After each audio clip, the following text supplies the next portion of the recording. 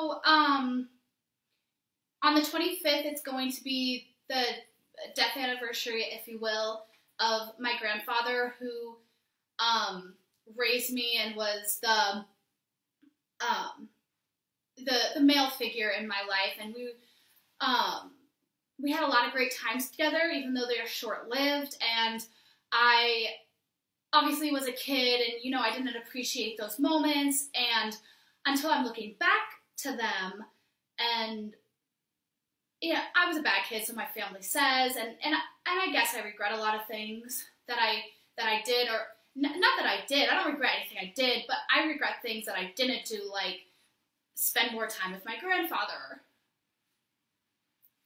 or whatever. You know, we all feel that way. So, um, so now that this this this anniversary over a decade is is coming up now, um, and over the last like two years, it's just been people people leaving this life so soon and it hasn't been fair and um it's just been a really hard couple of years for for not only me but for my my my best friends and my family. And so i'm not very eloquent with words and so i it as you can see so i this song just kind of came out of me the other day, um, and I decided to um, play it for you guys because I hope that maybe something can help you within it. I don't know, music, you know, helps me sometimes. Like when I hear a lyric that, you know, you know, speaks to me, and I'm like, oh, damn, okay, that's how I was feeling, etc. So. Um, I wrote this song. Some of it is personal, like the first line, 119, the clock looked at me. 119 was the moment that I knew my grandpa had, had died. I was in home ec, probably not paying attention, and I I remember I just looked at the clock. It was 119, and like just, I, I felt a piece of me literally leave my body. I can't, I can't really explain it. I'm sure you all have felt that in some way or another. Um, but I, I, I, literally at 119, I just felt it. And I was like, I know I'm going to go home and I'm going to get this bad news. And so I, you know, I went home and I saw my mom. She got out of the her truck, and I just knew. I, I just knew. I just knew she was going to tell me that that Poppy had died. And so we went over, and you know, everybody was there. Was it was really fucking sad. It was really sad, just like just like any of that is. And um, so I was really mad at myself because I I hadn't got to be the best person that I could be, and he didn't get to see in his physical body the best person that I get to be right now with myself and learning how to get better because of the tools that he gave me that I didn't even realize that he had given me. So, um, kind of to ease my thoughts, I we, we went to Illinois for his funeral, and I wrote him a letter, and I put it by his feet, and that was kind of my goodbye. And then, like that night at the hotel, um, I woke up. I was sleeping in the hotel bed. I woke up, and then I, I saw my I saw my grandpa it like wasn't his physical. It wasn't his physical body. It was his his his his spirit, if you will. Um, and it was like it was that it was that goodbye. Okay, kept his bottle of Old Spice. I smell it all the time. Um, and yeah, I just um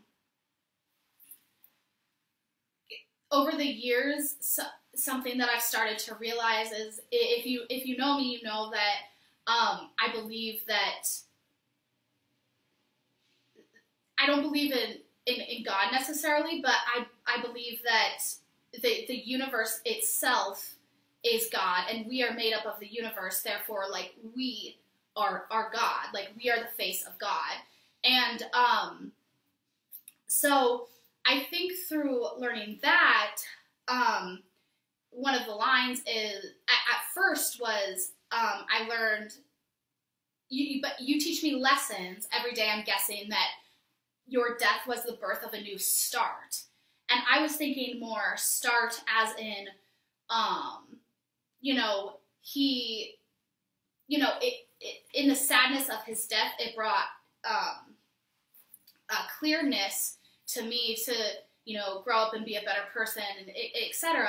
But then when Stevie listened to the song, I played it for her the other day, and she said, "I love that line that said that your death was the birth of a new star." And I was like, "Star? It's not star. It's start." But then I changed it because I I love that. I love that it's star because that's we're just recycled and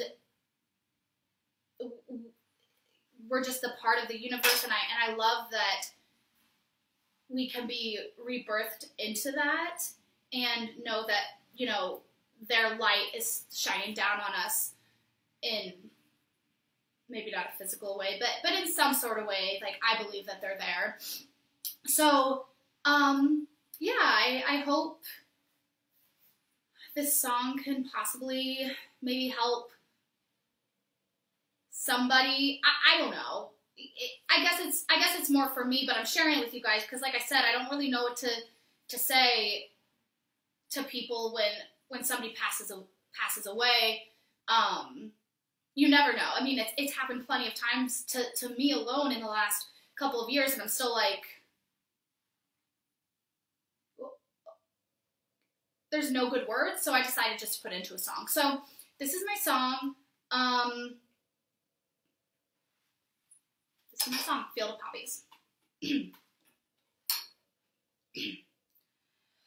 One nineteen, the clock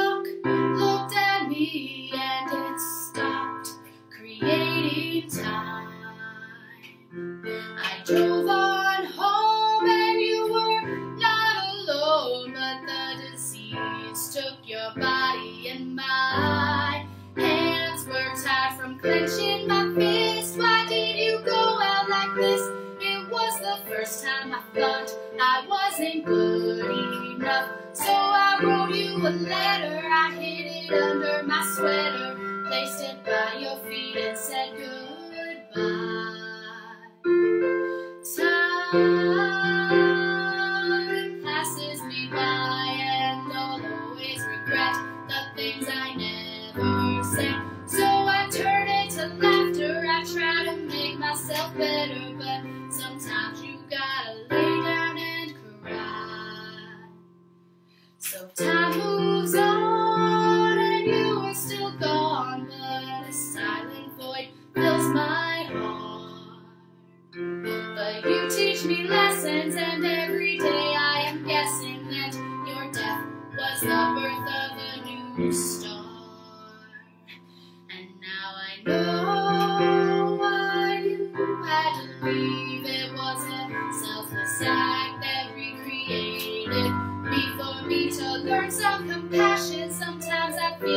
I'm crashing because you're not here with me. So I tattoo a story and I tell everybody that you truly molded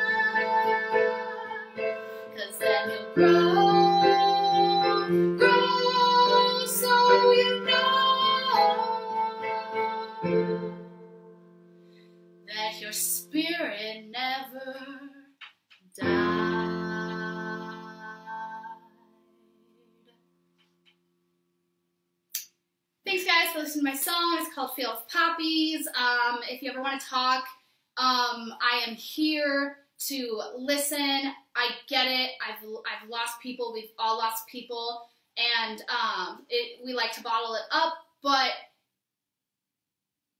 that's not healthy. And trust me, I've been there. I do that. I'm I'm very patient with with um, um, coping. So um, I just want to let you know that I am here for you um, via phone, via Facebook, via um, anything. So love you guys.